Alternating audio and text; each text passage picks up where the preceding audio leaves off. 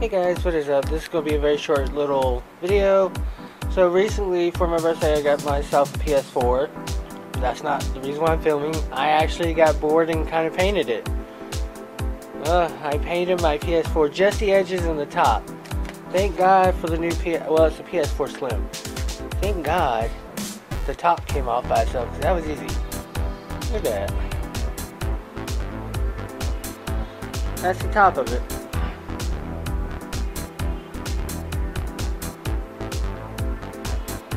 Basically, the top, oh, wrong way.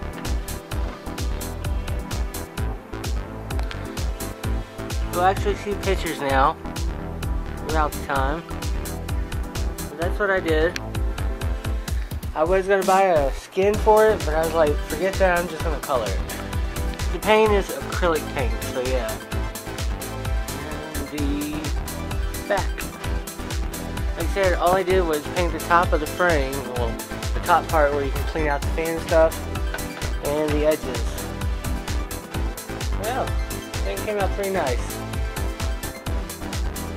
Focused. There we go.